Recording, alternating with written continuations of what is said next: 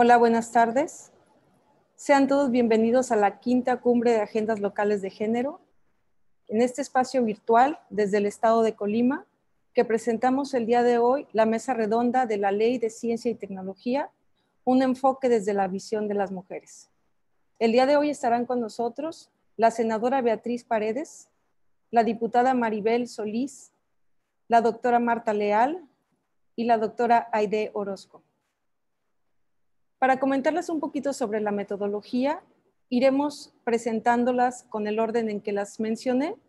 Tendrán 10 minutos para poder presentar su exposición y una vez terminada la participación de cada una de ustedes, pasaremos a preguntas y respuestas. Iniciaremos por la senadora Beatriz Paredes. Me voy a permitir leer su semblanza, un poco de su semblanza y de la gran trayectoria que tienen todas. Vamos a resumirlo un poquito por los tiempos.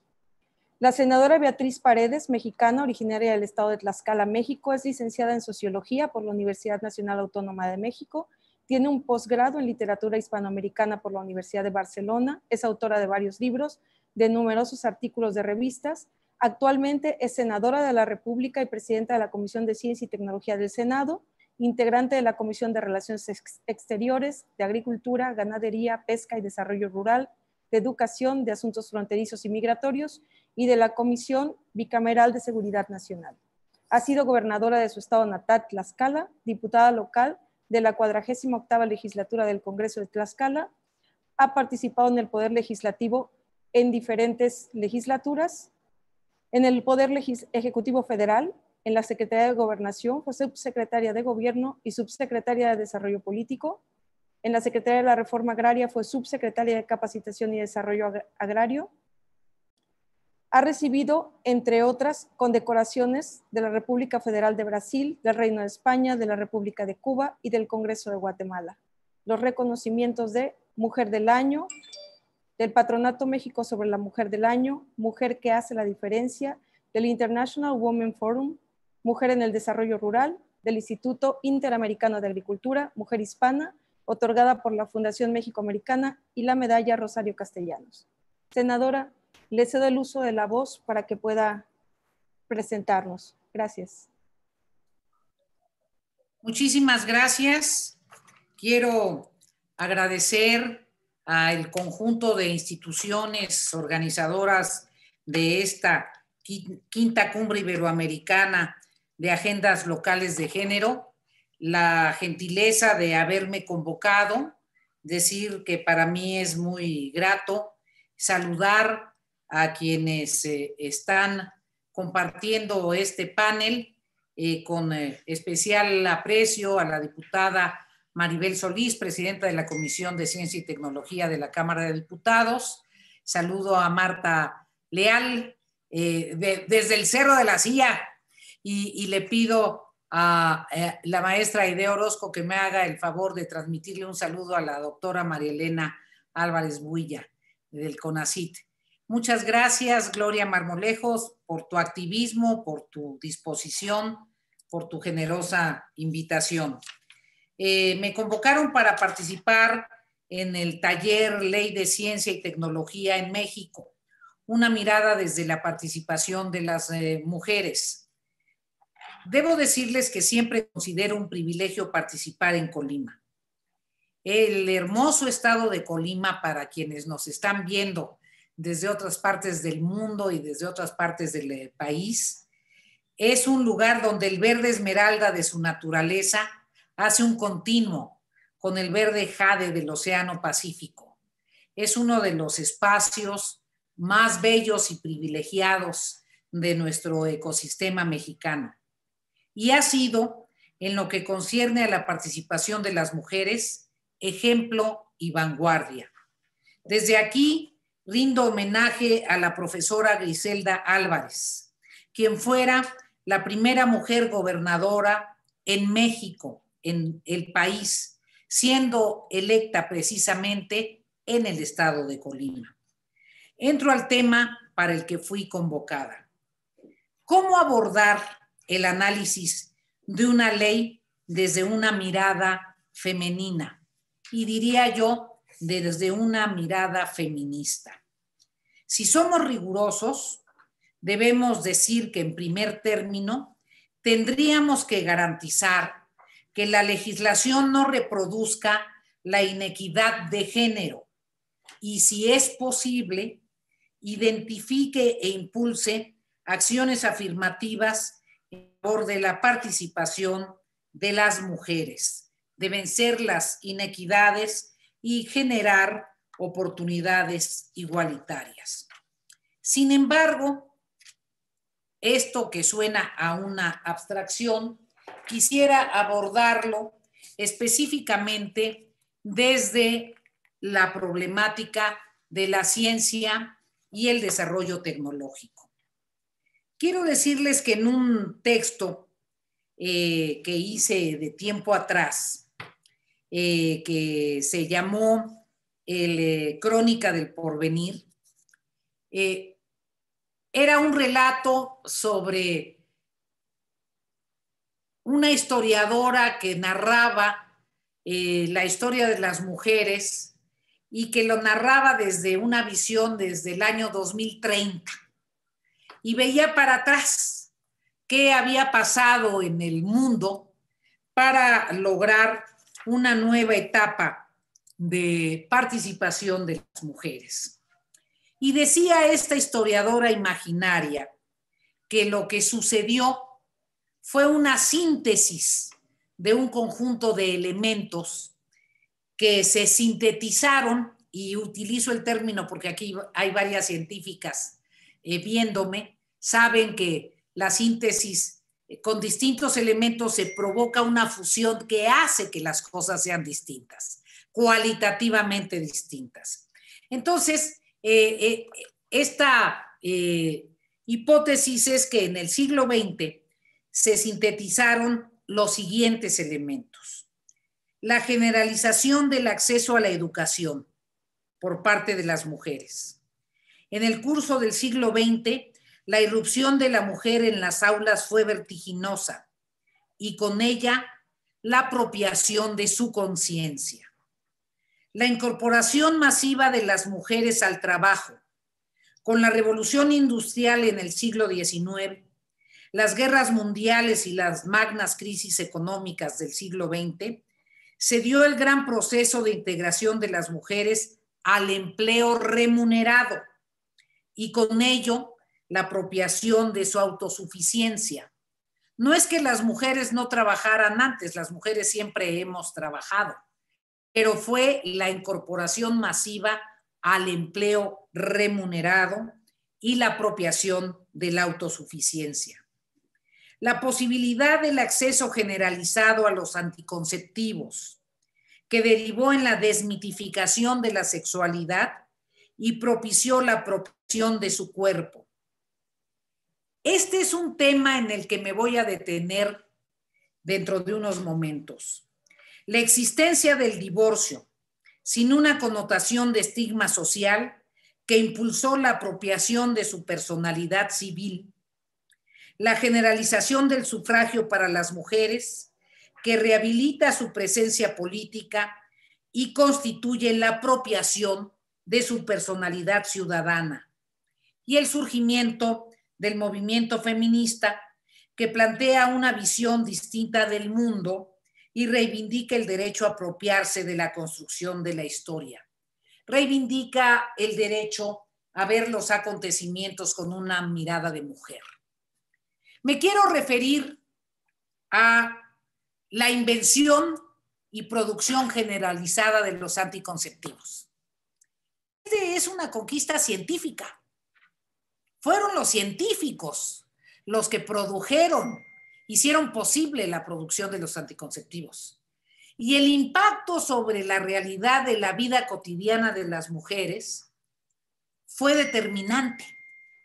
Cambió nuestra relación con nuestro propio cuerpo y con nuestra sexualidad. En ese sentido, una de las cuestiones que significa tener una visión con mirada de mujer, no solo en cuanto a la legislación, sino en cuanto a la política de ciencia e innovación tecnológica, tiene que ver con la identificación de los problemas que enfrentan cotidianamente las mujeres y cómo el desarrollo científico y la innovación tecnológica puede hacer mucho más sencillas sus cargas y puede simplificar sus tareas y liberarles tiempo. Yo creo que ahí hay un mundo enorme en relación a los temas del agua. La escasez de agua a quien más afecta es a las mujeres, porque las mujeres son las encargadas de administrar la suficiencia de agua en sus familias. Si no hay agua en un hogar, quien está martirizándose es la mamá, porque ¿qué, ¿cómo van a beber sus hijitos? ¿Cómo los va a alimentar? ¿Cómo va a poder cocinar? Si no hay agua, ¿cómo va a poder realizar la tarea tan relevante en el hogar como es que la ropa esté limpia?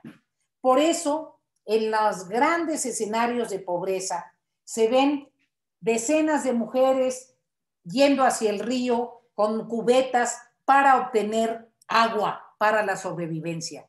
Yo creo que el tema del agua es un tema importante para todos los seres humanos, pero es particularmente importante para las mujeres. Desarrollar investigación y tecnologías apropiadas para el cuidado y el aprovechamiento racional del agua parecería ser muy importante. Entonces, para hablar metodológicamente, hacer un análisis de la problemática social que incide más en la discriminación de las mujeres para que muchas de las investigaciones de los científicos y muchas de las innovaciones tecnológicas estén destinadas a atender esos problemas. Te pido, mi querida Gloria, que me hagas una seña cuando ya lleve yo nueve minutos, por favor. Segundo, si la educación es un paso muy relevante en la nueva era de participación de las mujeres, tenemos que lograr que en la educación se impulsen las vocaciones científicas. Tenemos que lograr una buena enseñanza generalizada de las matemáticas. Tenemos que lograr que las niñas sepan que pueden ser ingenieras, que pueden ser actuarias, que pueden ser astronautas. Tenemos que lograr que no haya la perspectiva de que hay carreras para niñas y carreras para niños. Entonces hay todo un esfuerzo de información y de orientación vocacional que no tenga ningún sesgo de género. En eh, el Senado de la República y en la Cámara de Diputados conseguimos una extraordinaria reforma al artículo tercero constitucional y por primera vez en la historia de la legislación mexicana se estableció en el artículo tercero el derecho a acceder a la ciencia, al conocimiento científico y a la innovación. Entonces tenemos que lograr que haya todo un esfuerzo del sistema educativo para impulsar la enseñanza pertinente de las ciencias y para estimular las vocaciones científicas en general, pero especialmente en las mujeres. Que no haya estereotipos de cuáles carreras son para hombres y cuáles carreras son para mujeres. Y eso supone un esfuerzo en el sistema de becas. Supone acciones afirmativas para becas de posgrado, para estimular a las mujeres con vocación científica que han destacado en las universidades. Queridas amigas, queridos amigos, eh, en el Senado de la República, la Comisión de Ciencia y eh, Tecnología estará participando con una gran comunicación con las científicas, los científicos, las académicas y los académicos. Yo he sido trasladada a la Comisión de América Latina y el Caribe. De hecho, esta es una participación que ya tenía comprometida. Eh, ahora la senadora Claudia Anaya está al frente de la Comisión de Ciencia y Tecnología. Ella es una estupenda legisladora, estoy segura que participará con enorme vocación. Y tenemos la garantía que la diputada Maribel Solís sigue al frente de la Comisión de Ciencia y Tecnología y le expresamos toda nuestra solidaridad. Necesitamos una legislación incluyente, construida con la comunidad científica de México y una legislación que de ninguna manera reproduzca patrones de discriminación. Muchísimas gracias.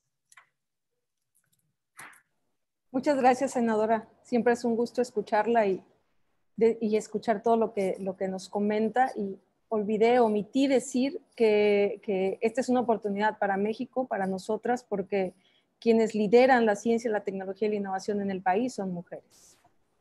Me voy a permitir presentar a la diputada Maribel Solís Barrera. Ella es ingeniera industrial por la Universidad Autónoma del Estado de Hidalgo, es diputada federal plurinominal por la quinta circunscripción, es integrante del grupo parlamentario de Morena, es presidenta de la Comisión de Ciencia y Tecnología e Innovación de la Cámara de Diputados desde octubre del 2018 hasta la, a la fecha. Tiene 29 años de trayectoria en el ámbito educativo, ha sido docente, titular en diversas asignaturas de diversos programas educativos, ha sido coordinadora de la región centro-sur de la Asociación Nacional de Instituciones de Educación Superior ANUYES y en el periodo, periodo 2012 a 2018 fue vocal de la Asociación Mexicana de Educación Continua y a Distancia AC. En el 2018 se subió al movimiento, se sumó al Movimiento de Regeneración Nacional y fue candidata a diputada federal por la vía de representación proporcional. Diputada, le cedo el uso de la voz. Bienvenida. Gracias, muchas gracias.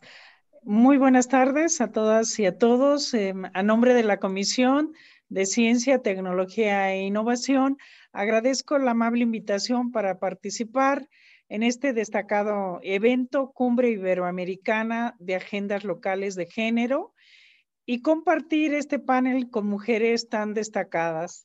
Saludo a la senadora Beatriz Paredes.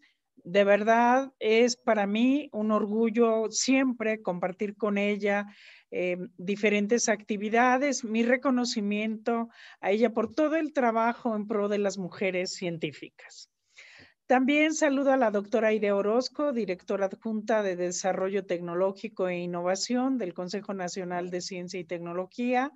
Y bueno, eh, debo decirles que la doctora Aide Orozco eh, nos visita continuamente en recorridos y de verdad mi admiración porque eh, está inmersa en los procesos de la innovación tecnológica. Yo creo eso es muy importante, el que realiza visitas a las empresas, escucha las necesidades del eh, sector empresarial.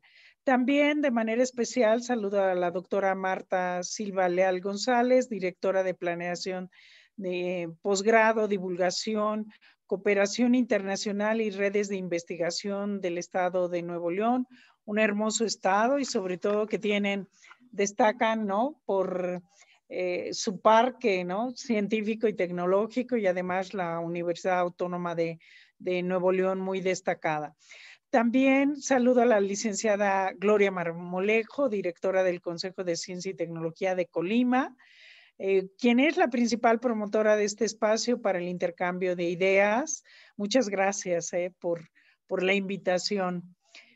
Debo decirles que en México, en México, durante este 2020, conmemoramos a la mujer fuerte de la independencia, a Leona Vicario. La figura de Leona Vicario es trascendente porque nos pone de manifiesto la relevancia del papel que desempeñamos las mujeres en múltiples ámbitos de la sociedad. Y bueno, eh, me permito destacar a una de las investigadoras y escritora más destacadas del país, que es la doctora Celia del Palacio. ¿Quién no ha leído su libro Leona, eh, que es de alguna manera una novela que nos relata la, la historia de Leona Vicario? También Adictas a la Insurgencia, otra novela destacada. Y bueno, es una persona admirable porque a pesar de su problema de salud, lucha continuamente y continúa eh, de alguna manera escribiendo. Y además lo destaco porque eh, ha sido apoyada a través del Consejo Nacional de Ciencia y Tecnología. Ella y diferentes escritoras han sido apoyadas. Por lo tanto, es de relevancia, importancia que eh, continuemos apoyando todos los programas de becas y también eh, a las mujeres eh, mexicanas en las diferentes áreas de conocimiento. Pero en, en, este caso, en lo que es letras, creo es, es también muy importante. Em, destaco que nuestro país ha realizado grandes esfuerzos para ajustar su marco normativo con perspectiva de género. La Ley de Ciencia y Tecnología actual ha buscado promover la incorporación de las mujeres en las actividades de ciencia, tecnología e innovación. Asimismo, el programa especial de Ciencia, Tecnología e Innovación ha buscado instrumentar una política que le permita a las mujeres acceder a, todos los campos del conocimiento, distintos a, los que ocupan tradicionalmente. Adicional a lo anterior, en la agenda global, la incorporación del objetivo del desarrollo sostenible número 5 permite centrar múltiples esfuerzos de forma transversal, sumando a diferentes actores a, nivel local, regional e internacional. Se necesita empezar motivando a niñas y mujeres a perseguir licenciaturas enfocadas a las ciencias, contar eh, con más becas, es decir, con bases para fortalecer sus intereses y promoverlos. Em, actualmente en la ley em, eh, de educación superior fuertemente se está impulsando el, énfasis a las ciencias exactas y esto nos va a permitir que existan más oportunidades para, las, para que las eh, jóvenes participen fuertemente en em, que sean científicas, tecnólogas, que logren de alguna manera desarrollar innovaciones tecnológicas en productos o en servicios. No podemos ignorar que se han hecho avances em, estos últimos años para fomentar la presencia de las mujeres en la ciencia y tecnología en México.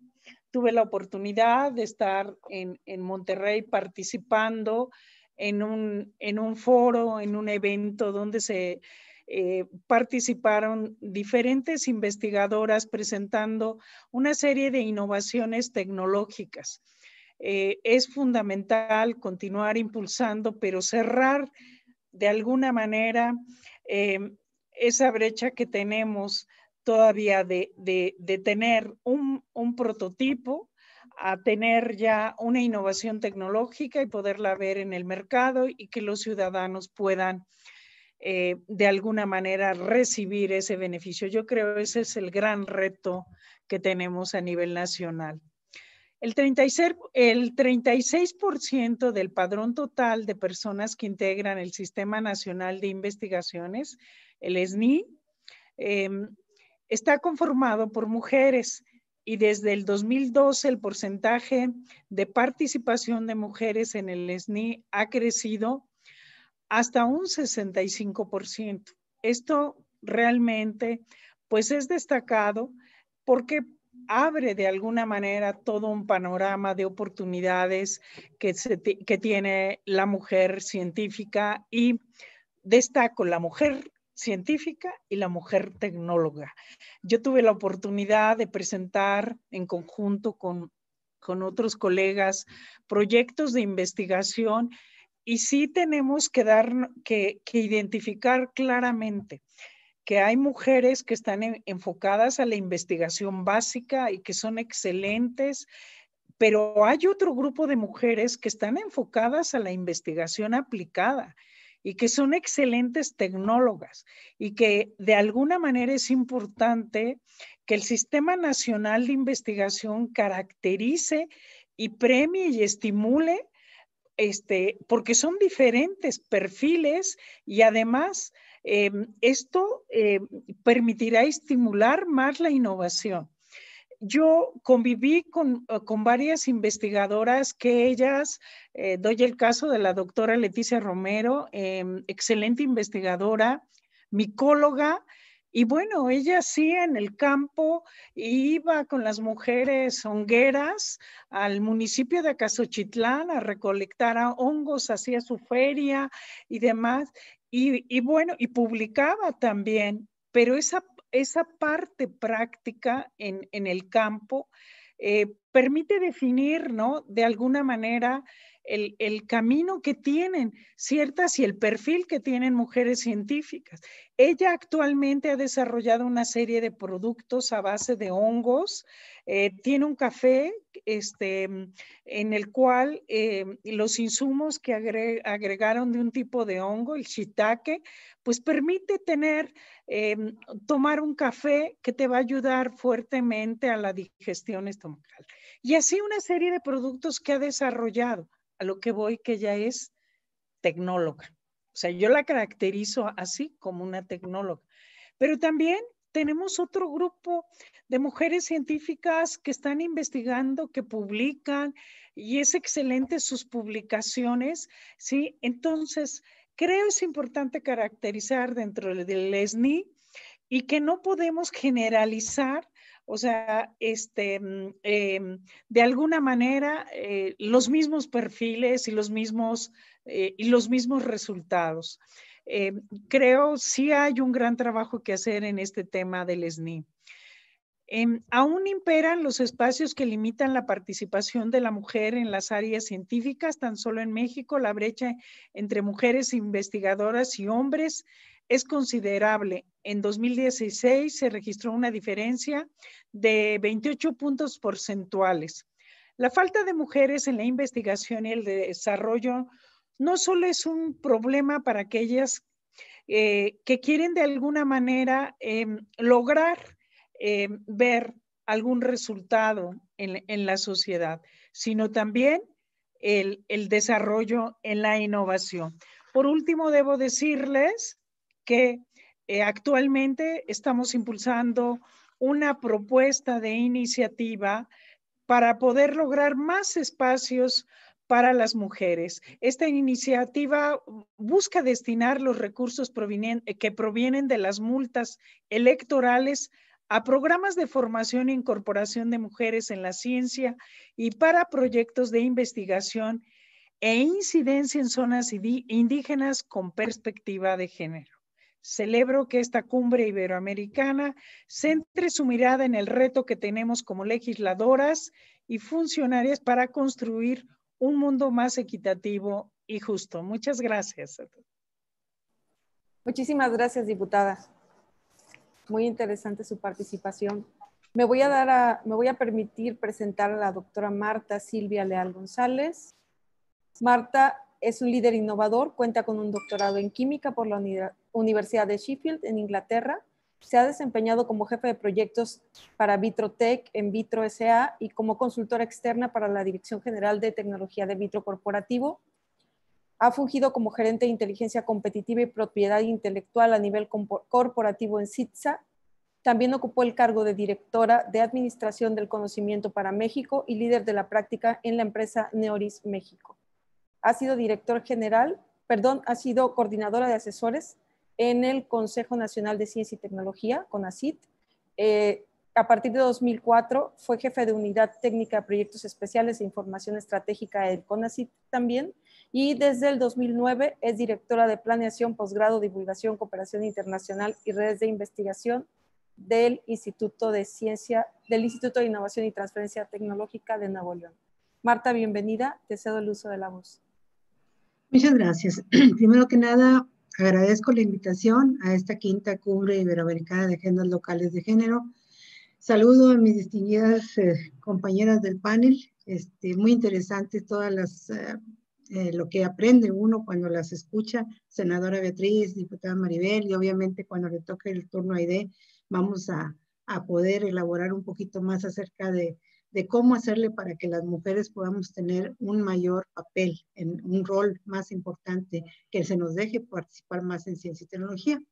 Yo quiero comentar en general sobre algunas de las reflexiones sobre el tema de la nueva Ley General de Ciencia, Tecnología e Innovación que surgieron mientras los consejos estatales de ciencia y tecnología discutíamos sobre cómo y qué aportar para dar mayor valor a la revisión y conversión de la ley vigente en una nueva ley general, que deberá ser aprobada este año por el Congreso y que debe coordinar los esfuerzos de los tres órdenes de gobierno, el federal, estatal y municipal, en el tema para lograr un sistema nacional de ciencia, tecnología e innovación que contribuya al bienestar social y económico de todos los mexicanos, además de asegurar mayores oportunidades de acceso al conocimiento para los grupos vulnerables, como es el caso de las mujeres, y que participen en igualdad de condiciones en el ámbito de la ciencia, la tecnología y la innovación. En México, la política de fomento de la ciencia, la tecnología y la innovación ha enfrentado muchos problemas, pero entre ellos la preocupante reducción de recursos asignados, dado que siempre toman prioridad otras situaciones por las que atraviesa el país, la pobreza, la desigualdad, la inseguridad, la vulnerabilidad ambiental y sanitaria, la violencia, la corrupción, la falta de acceso a la justicia y la impunidad. Sin embargo, si tomáramos en cuenta la experiencia de otros países que han invertido en el desarrollo de la ciencia, la tecnología y la innovación, veríamos que esta inversión reditúa en la mejora de la calidad de vida de sus habitantes, así como en un mayor desarrollo económico y social sostenible, lo que permite abatir los niveles de pobreza y marginación y las tendencias negativas que se presentan por un desarrollo inequitativo de la riqueza. En México, el cambio de la legislación concerniente a ciencia y tecnología supone grandes retos, pero también oportunidades invaluables para impulsar un profundo proceso de renovación que permita que la política pública de investigación, desarrollo tecnológico e innovación contribuya al desarrollo integral de la nación y al beneficio de la sociedad reduciendo la brecha entre géneros y favoreciendo la inclusión y la diversidad. Las reformas aprobadas en la Constitución que han hecho referencia eh, la diputada y la senadora, ¿verdad? Prevén la obligación del Estado de apoyar la investigación científica, el desarrollo tecnológico y la innovación con miras a apuntar al desarrollo nacional integral, económico y social. Citando textualmente, se señala, toda persona tiene derecho a gozar de los beneficios del desarrollo de la ciencia y la innovación tecnológica. El Estado apoyará la investigación e innovación científica, humanística y tecnológica y garantizará el acceso abierto a la información que derive de ella, para lo cual deberá proveer recursos y estímulos suficientes conforme a las bases de coordinación, vinculación y participación que establezcan las leyes en la materia. Aquí quiero detenerme para hacer una reflexión de lo que significaría esta declaratoria para los diferentes actores que componen la población. ¿Qué significa que toda persona tiene derecho a gozar de los beneficios del desarrollo de la ciencia y la innovación tecnológica? Bueno, que los, los y las jóvenes, los niños, las niñas tengan acceso a la enseñanza vivencial de la ciencia como parte del currículo en la educación básica, media y media superior. Que los y las jóvenes tengan acceso a una educación universitaria de alta calidad, en todas las áreas del conocimiento con un sentido humanista y de cuidado de los recursos naturales y el medio ambiente. Que los y las estudiantes puedan gozar de becas de maestría, doctorado y especialidad en las áreas estratégicas del conocimiento para México. Que los egresados de educación de superior, hombres y mujeres, tengan oportunidades laborales en el campo de la ciencia, tecnología e innovación en los sectores público y privado que los ciudadanos, hombres y mujeres, tengan mejores oportunidades y mayor calidad en el empleo, que los ciudadanos y ciudadanas tengan mejores condiciones de vida con acceso a salud personalizada, habitando en ciudades inteligentes que cuiden la calidad del aire, el medio ambiente, mejores medios de transporte y comunicación y que gocen de seguridad para disfrutarlas. Que los ciudadanos y ciudadanas tengan instituciones de gobierno transparentes, más eficientes y eficaces por el uso de la tecnología que los y las investigadores tengan acceso a los recursos e infraestructura necesarios para avanzar el conocimiento en su campo de estudios, que los y las docentes reciban educación continua en ciencia y tecnología, así como acceso a las mejores prácticas y equipamiento de tecnología educativa, que los y las emprendedoras de base tecnológica tengan apoyo para realizar sus emprendimientos, que los empresarios, hombres y mujeres, puedan usar el conocimiento para innovar procesos y productos más amigables al medio ambiente y a la amistad de la población y que tengan mayor valor agregado. Que los servidores públicos cuenten con los medios para resolver problemas de interés público con mayor rapidez y transparentar la eficacia y eficiencia de los recursos asignados. Y por último, que la ciencia y la tecnología sean los igualadores para lograr una sociedad más equitativa y justa, brindando oportunidades en base al talento, el conocimiento, y que el Estado proporcione los recursos y establezca los programas para que esto se convierta en realidad. Eso sería lo que esperaríamos de esta ley, que pues, todos en la población reciba estas oportunidades. La propuesta de los consejos estatales que hemos trabajado contempla, entre otras muchas, las siguientes consideraciones que considero relevantes resaltar en esta ponencia. El primero es que garantizar a toda persona el derecho a gozar de los beneficios del desarrollo de la ciencia y la innovación tecnológica. El segundo, que se instauren las bases para la política, planeación y programación en todo el territorio nacional de las actividades de ciencia, tecnología e innovación, bajo criterios de beneficio social, sustentabilidad, competitividad y desarrollo equilibrado del país en su conjunto. La tercera, que se fomente la inversión pública, privada y social en ciencia, tecnología e innovación. El cuarto, fortalecer la cultura científica, tecnológica y de innovación en la sociedad por medio de la difusión, la divulgación y la apropiación del conocimiento científico. El quinto, fomentar la vinculación entre los sectores educativo, productivo y de servicios en materia de investigación científica, desarrollo tecnológico e innovación, y el sexto, pero no menos importante, salvaguardar la igualdad de género, la diversidad y la inclusión en la instrumentación y aplicación de políticas de apoyo y fomento a la ciencia, la tecnología y la innovación. Cuando las brechas de desigualdad entre hombres y mujeres son visibles, preocupan, más si se trata del campo de la tecnología, que marca el rumbo del futuro de la innovación y de la economía en el mundo. Sin embargo, la política pública no debe enfocarse solo en que las mujeres estudien carreras con tecnología, sino articular todas las demás carreras con el sector, de manera que desde niñas sepan cómo pueden proyectar y potenciar su vida profesional a través de la ciencia, la tecnología y la innovación. Esto es válido para todos los individuos y es el tema toral que debemos cuidar se procure en esta ley. La ciencia y la tecnología son igualadores para lograr una sociedad más equitativa y justa, brindando oportunidades en base al talento y al conocimiento, no al estrato social en el que se nace, sobre todo si se fomenta el emprendimiento de base tecnológica entre los jóvenes, hombres y mujeres. Algunos datos para ejemplificar el papel de la mujer en ciencia, tecnología e innovación en México nos demuestran que la brecha existe y que debemos incorporar una perspectiva de género en la legislación. La población de México se compone del 51% de mujeres, del total de la población, solo el 17% tiene estudios superiores. Las mujeres que llegan a estudios universitarios no seleccionan las carreras en ciencia, ingeniería, tecnología y matemáticas, STEM por sus siglas en inglés, representando solo el 34% de la matrícula licenciatura y el 24% de la matrícula de posgrado en estas áreas. En el Sistema Nacional de Investigadores, que son todas las áreas del conocimiento, el 37% del total son mujeres pero este, pues son todas las áreas, ¿verdad? En los puestos de nivel gerencial o directivo, la participación de las mujeres anda alrededor del 30%. 29.5 de los dueños de pequeñas y microempresas de manufactura son mujeres. 4.8 de las empresas creadas por mujeres tienen su base en la tecnología, frente al 7.5% de las fundadas por hombres.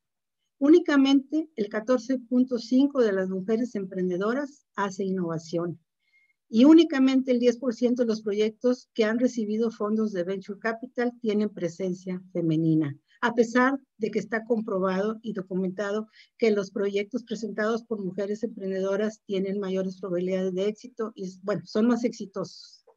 En particular, la nueva ley de ciencia, tecnología e innovación debe proveer instrumentos y programas para fortalecer y generar nuevas competencias en ciencia, tecnología e innovación en el mercado laboral ya que permiten una diversificación y economía altamente especializada basada en el conocimiento, donde la mujer tiene un papel clave al permitir obtener un nuevo recurso humano que tiene capacidad de aportar y ser competente en temas científicos. Como conclusión, el tema de equidad de género en las áreas de conocimiento STEM se considera un desafío permanente y especialmente el poder contrarrestar la deserción de la mujer en estos campos, por lo que es fundamental formular políticas efectivas basadas en estadísticas e indicadores relevantes que permitan realizar su seguimiento y promover o corregir las soluciones apropiadas. Debe plantarse una perspectiva integral que permita poder cerrar la brecha y contar con una mayor participación y aporte de la mujer en el campo científico, tecnológico y la innovación. Muchas gracias. Muchísimas gracias, doctora. Es muy importante lo que, lo que comentas y que hemos venido trabajando desde, desde la red NACESIP. Es importante darle, dar las necesidades que tienen los estados para, para que tenga esta, estas perspectivas dentro de la ley. Me voy a permitir presentar a la doctora Aide, Delia Aide Orozco Hernández. Ella es mexicana, emprendedora, mentora y apasionada de la ciencia.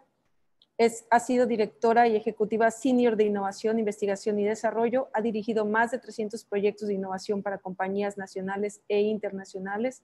Es bioquímica, microbióloga de formación con una maestría en ciencias con especialidad en química y, un doctorado, perdón, en ciencias con especialidad de química en productos naturales por la Universidad Autónoma de Guadalajara ha sido reconocida por su carrera profesional y contribuciones financieras a través de la innovación, la ciencia y la tecnología, siendo incluida en el ranking de expansión de las 100 mujeres más poderosas de México por dos años consecutivos, 2017 y 2018.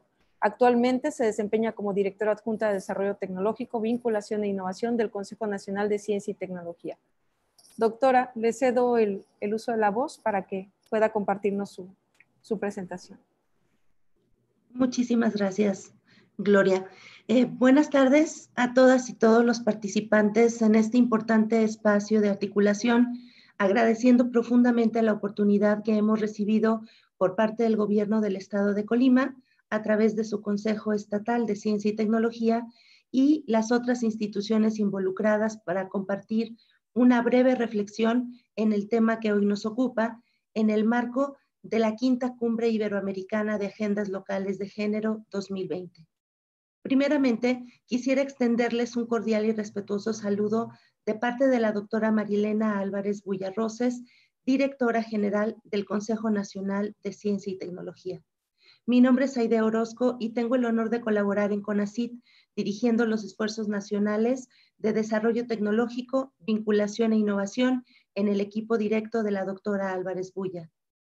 A mis colegas panelistas el día de hoy les saludo con mucho respeto y afecto a la senadora Beatriz Paredes Rangel, expresidenta de la Comisión de Ciencia y Tecnología de la Cámara de Senadores, a la diputada Maribel Solís Barrera, presidenta de la Comisión de Ciencia, Tecnología e Innovación de la Cámara de Diputados, a la doctora Marta Leal, subdirectora del Instituto de Innovación y Transferencia de Tecnología de Nuevo León, a la licenciada Gloria Marmolejo Jaramillo, directora general del Consejo Estatal de Ciencia y Tecnología del Estado de Colima. El CONACYT, como cabeza de sector de Ciencia, Tecnología e Innovación del país, establece la política pública en humanidades, ciencias, tecnologías e innovación, bajo la cual se contextualizarán y desarrollarán las actividades de investigación científica, cambio tecnológico de vanguardia e innovación abierta en esta administración. El enfoque de género es fundamental para fortalecer nuestra política pública, así como para impulsar la nueva Ley General de Humanidades, Ciencias, Tecnologías e Innovación, su completa alineación al Plan Nacional de Desarrollo actual y su relación con el Plan Nacional para la Innovación, que ha sido mandato presidencial y en el que actualmente todas y todos en CONACYT estamos trabajando desde nuestra experiencia y formación. Los compromisos con la igualdad de género y el impulso contundente a las niñas, las jóvenes y las mujeres de nuestro país son muchos y son objeto de nuestros esfuerzos diarios. Se fomentan y refuerzan las vocaciones científicas, tecnológicas y de innovación en todas ellas. Se han lanzado convocatorias con respuestas inéditas para madres de familia. Se incorporó el tema de género y de violencias estructurales en los programas nacionales estratégicos como una muestra del compromiso de México y del CONACYT con el objetivo número 5 de la Agenda 2030 de las Naciones Unidas. Por ejemplo, la convocatoria del Programa Estratégico Nacional de Tecnología e Innovación Abierta, PENTA, que representa el epítome del nuevo modelo de innovación para México basado en una pentahélice, academia, gobierno, industria, sociedad y ambiente, y con un enfoque de innovación abierta para el Desarrollo Socioeconómico de México, tuvo un 33% de incidencia de proyectos cuyo líder técnico es una mujer, número que ha crecido en comparación con otros programas y en el cual estamos trabajando para que el próximo año al menos la mitad de los proyectos que se reciban estén dirigidos por emprendedoras, científicas y tecnólogas mexicanas. En el Sistema Nacional de Investigadores tenemos una composición total de 38% de investigadoras que van del 45% en el nivel de candidatas hasta un 21% en el nivel de eméritas. El 48% de las becas nacionales, internacionales y de postdoctorado se han otorgado hoy en día a mujeres. Y solo el 38% son catedráticas en el programa de cátedras CONACYT. Estamos conscientes de los retos que estamos enfrentando y estamos incorporando elementos a todos estos programas que nos ayuden a resolverlos. Recordemos las palabras de la jueza Ruth Bader Ginsburg. Las mujeres pertenecen en todos los lugares donde las decisiones se están tomando. Las mujeres no deberían ser la excepción en ellos. Este tipo de foros tienen precisamente ese objetivo tan relevante. Veo mi pantalla a mis compañeras de panel y me llena de orgullo verlas a todas en posiciones de liderazgo y en posiciones de decisión. Cada vez más las mujeres conquistamos espacios y revolucionamos nuestro entorno. Las mujeres que incursionamos en las carreras de ciencia, tecnología e innovación enfrentamos todavía ciertamente dificultades de género y aunque se ha avanzado, aún tenemos bastante por hacer. ¿Cómo no recordar a Matilde Montoya, la primera mujer mexicana en obtener el grado de médico a finales del siglo XIX, quien recorrió diferentes instituciones hasta lograr que la aceptaran los sectores más conservadores, recibiendo críticas incansables, pero logrando su meta, titularse como médica y con esto hacer historia. La práctica de los campos de la ciencia, la tecnología y la innovación ha sido predominantemente masculina, con estadísticas que muestran que durante los estudios, carreras como ingeniería o medicina tienen un gran porcentaje de mujeres a la cabeza y con el mejor desempeño. Sin embargo, a la hora de la práctica, estos números disminuyen considerablemente. Las razones son, por supuesto, muy variadas y reflejan retos multidimensionales y complejos que requieren abordarse de una manera profunda y articulada. Es un compromiso de esta administración y podemos claramente verlo en este panel, el traer a la mesa a más mujeres para tomar decisiones y dirigir las, razones son por supuesto muy este variadas y reflejan retos que la Dirección General de CONACYT y complejos ha recibido que requieren abordarse de una manera a todas y a todos los que formamos parte del Es un compromiso de esta que ponemos en la práctica podemos todos los días verlo a este través de nuestras convocatorias a la mesa en enfoques estructurales para tomar decisiones y dirigir las razones son por supuesto muy variadas y reflejan retos que la Dirección General de CONACYT ha recibido que requieren abordarse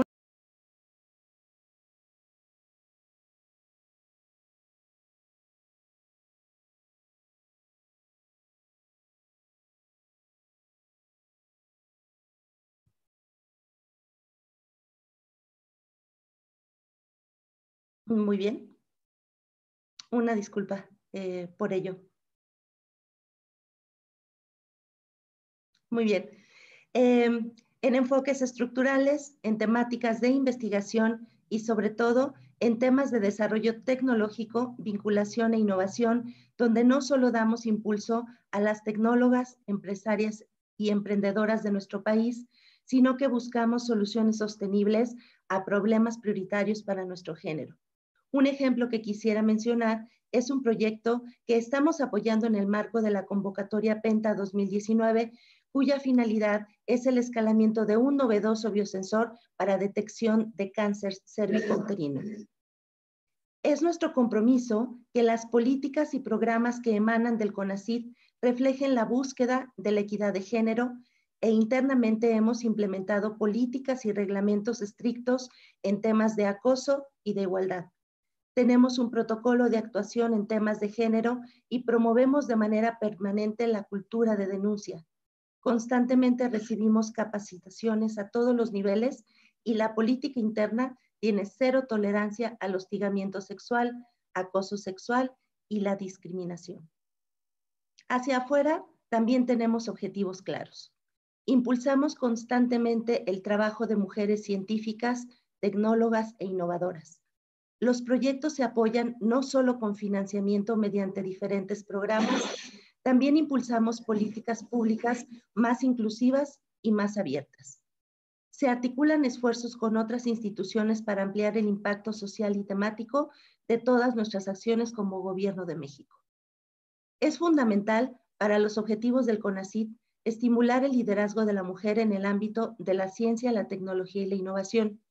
Creemos firmemente, como lo dijo Ruth Bader, que las mujeres deben ocupar más posiciones de decisión en el tema de las políticas públicas, no solo por temas de igualdad, sino por inclusión.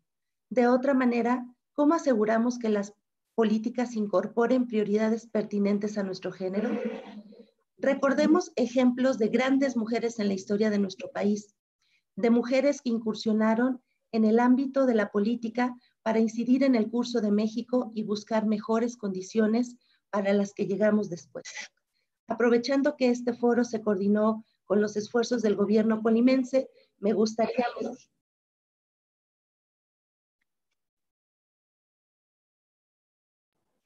Perdón, adelante, Aide. Me gustaría mencionar a Griselda Álvarez Ponce de León, la primera gobernadora de la historia de México, y además se desempeñó como senadora y funcionaria federal en otros niveles, siempre buscando dejar su huella y su mentalidad revolucionaria en el panorama político de nuestro país. La historia de México no se podría contar sin recordar a Elvia Carrillo Puerto, una de las mujeres, de las primeras mujeres mexicanas electas diputadas y, y precursora del derecho de las mujeres a votar a escala federal, el cual finalmente se materializó en 1953. Todas estas mujeres lograron darle participación y visibilidad al resto de las mujeres de sus tiempos y construyeron para nosotras los cimientos sobre los cuales podemos seguir construyendo. Son estos dos elementos los que yo considero la vía segura para lograr políticas públicas inclusivas y responsables. Asegurando la participación y la visibilidad de toda la población femenina de nuestro país, podemos lograr que las políticas públicas y sus resultados representen las prioridades de todos y de todas. Específicamente, es apremiante que esta representación se vea en las temáticas de ciencia, tecnología e innovación, que los desarrollos tecnológicos y las innovaciones sigan buscando responder problemáticas que afecten a toda la población y especialmente a los más vulnerables. Es importante crear los contextos para que esos números se mantengan siempre en igualdad, tener los espacios adecuados para que nuestras científicas puedan desarrollarse, para que las niñas y las jóvenes escojan más carreras de ciencia y para que nuestros representantes sigan impulsando las políticas que realmente nos representen. Tenemos excelentes líderes, científicas y representantes. Para muestra, un botón en este evento. Me siento muy honrada de poder ser parte de estos esfuerzos y de tener la responsabilidad de contribuir a la generación de iniciativas que resuelvan los problemas reales, actuales y urgentes de nuestro país. Esto es también Ciencia por México. Muchas gracias. Muchísimas gracias, doctora. Muchas gracias por tus palabras. Aquí voy a hacer una pausa para despedir a la senadora Beatriz Paredes. Su, responsabilidad legislativa la, obliga a, separarse del, panel, pero le estaremos haciendo llegar las preguntas. No sé, senadora, si gusta eh, despedirse. Sí, muchas gracias. Estoy en el eh, Senado y yo, eh, ahorita eh, coincide con la comparecencia del secretario de Bienestar y, tengo que, estar eh, allí en, participando. Les aprecio mucho esta invitación. Saludo a la Unión de Municipalistas. Yo tuve el privilegio de ser presidente de la Comisión de Fortalecimiento del Federalismo en, en otra ocasión que estuve en el Senado soy una convencida de la importancia del municipio y además eh, eh, percibo un gran activismo en la, en la Unión. Cuenten eh, conmigo siempre para sus iniciativas y espero, querida Gloria, que me hagas llegar si hay algunas preguntas a mi correo y tengan la certeza que, que se las contestaré. Muchas gracias y que continúe muy bien este evento Gracias por habernos convocado a la inauguración. Qué lástima que no pudo ser presencial en Colima, porque sería fantástico irnos a tomar un ponche de granada a Comala y recordar a Juan Rulfo, esa gloria de la literatura nacional y mundial. Hasta luego. Hasta luego. Gracias, senadora. Hasta luego. Pues siguiendo con el programa, vamos a, proceder a la, ronda de preguntas. Este, voy a leerlas, si me permiten un segundo. Y tenemos una pregunta. Dice eh, Carla Velasco desde Venezuela. ¿En la ley se contempla el reconocimiento del derecho a la libertad académica? es abierta para todas. No sé si alguien la quiera, la quiera contestar. Nosotros lo estuvimos discutiendo, o sea, porque precisamente es el derecho, o sea, nosotros quiero decir la red de consejos estatales. Creemos que sí debe haber libertad de, de, de qué tema investigar, pero no está contemplada como tal al momento. Habría que incluir.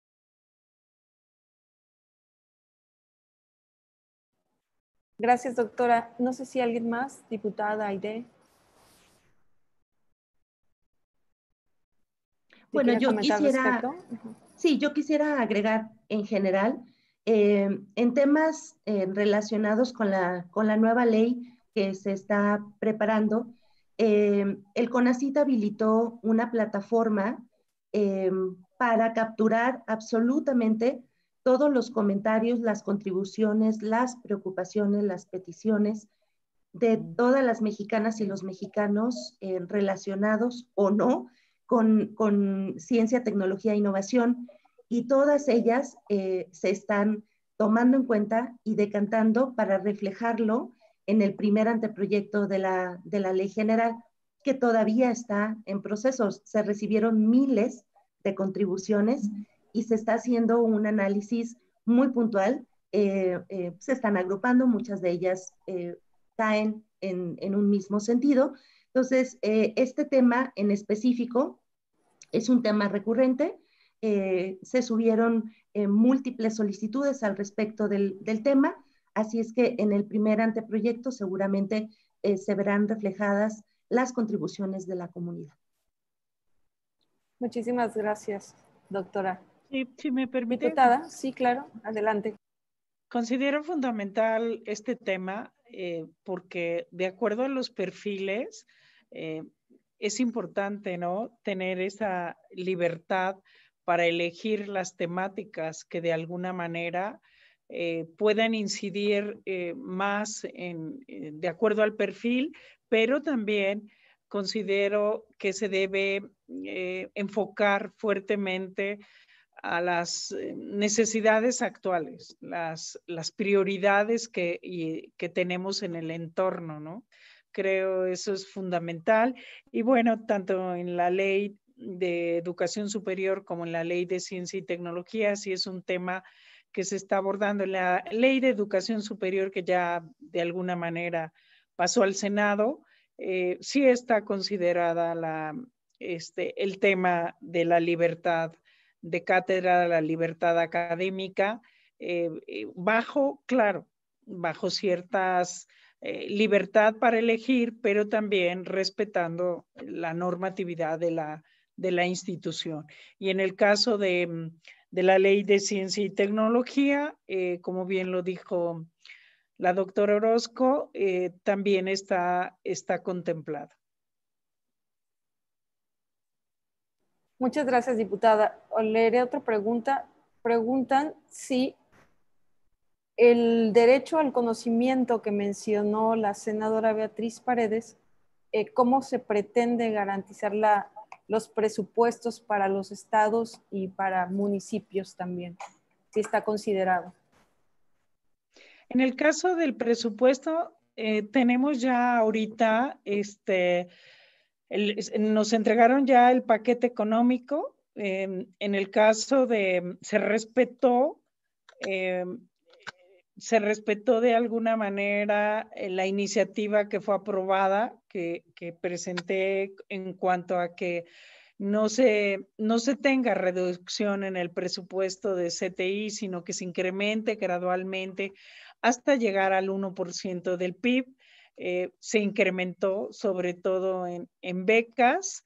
Eh, eso fue de alguna manera el mayor incremento en el caso de, del Consejo Nacional de Ciencia y Tecnología. El 40% del presupuesto en CTI lo tiene educación y el 20% lo tiene el Consejo Nacional de Ciencia y Tecnología. Este es un reto, lo que eh, consideramos prioritario es que el CONACYT eh, continúe siendo cabeza, eh, cabeza de sector y coordine de alguna manera todas las actividades de, de CTI. Entonces, este, estamos con, de alguna manera con esa con esa propuesta dentro de la propia ley de ciencia y tecnología. Gracias, diputada. No sé, ¿alguien más que quiera comentar al respecto? Bueno, estamos en tiempos, eh, nos gustaría que, nos pudieran para el cierre, que nos pudieran, las, demás preguntas que están llegando las vamos a mandar al correo electrónico para no excedernos en el tiempo. Eh, les, les, daremos un minuto de cierre a cada participante, por favor, si nos quieren, si nos quieren compartir algún cierre con respecto al tema. ¿Quién gusta empezar? Marta, adelante. Bueno, este, primero que nada, agradecer de nuevo la invitación. Es una experiencia muy gratificante como estar con ustedes, este, como dijeron las compañeras. Este, no todos los días se tienen esta, esta, comparto yo con Beatriz, con Maribel, con Aide, contigo. Entonces, muchas gracias por la invitación. Y sí, espero que hagamos nuestro mejor esfuerzo para continuar el camino que nos empezaron nuestras antecesoras y dejemos un camino más pavimentado para las nuevas generaciones de mujeres que vienen detrás empujando fuerte. Y no lo quiero decir, pero ojalá que algún día tuviéramos el problema de que los hombres se sienten discriminados, ¿verdad? O sea, que hemos avanzado lo suficiente como para, para hacer mella en ese aspecto. Y yo las felicito a todos, a todos los oyentes y los que están aquí. Este, agradezco su atención y esperemos que todos trabajemos. Háganos llegar sus propuestas este, de cambios que a todos los necesitamos, hombres y mujeres. Gracias. Muchas gracias, Marta. Adelante, diputada. Muchas gracias. De verdad, para mí fue muy grato eh, compartir ¿no? este evento con todas las destacadas invitadas y, debo decirles que pues me siento muy, muy orgullosa de, de, compartir con, con, todas ustedes pues de alguna manera todas las, las experiencias. Hoy estamos con, con un gran reto Hoy abordamos el tema de los fideicomisos y bueno, eh, se presenta este gran reto que de alguna manera nos va a permitir, ¿no? Em, eh, plantear de alguna manera que es importante hacer el análisis del, gran impacto que tiene la ciencia, la tecnología y la innovación en el país y sobre todo con la gran participación de mujeres, de mujeres científicas. Eh, se abre también, eh, yo creo, a partir de, esta pandemia, nuevos retos para todos y todas, sobre todo para las mujeres, porque además de ser científicas, tecnólogas, pues son madres de familia. Entonces, este es un tema fundamental a abordar. Em, Hemos tenido la oportunidad de hacer foros de mujeres científicas y bueno, es admirable el trabajo que ha desarrollado la mujer científica en México. Yo felicito a todas las mujeres que hoy están con nosotros participando y reitero mi apoyo y para recibir sus propuestas y plantear siempre hay, creo, una gran oportunidad de poder hacer planteamientos, iniciativas de ley que nos permitan fortalecer la participación de las mujeres. Y bueno, esta es su casa, la Cámara de Diputados, a sus órdenes. Muchísimas gracias, diputada. Adelante, doctora Aide.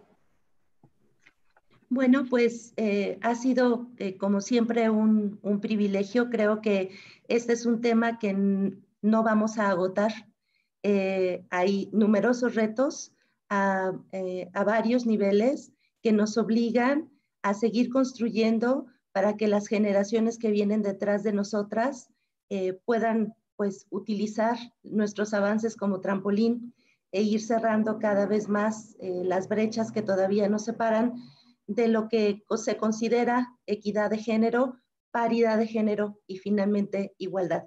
Eh, para mí eh, ha sido un, un, honor compartir con ustedes este espacio.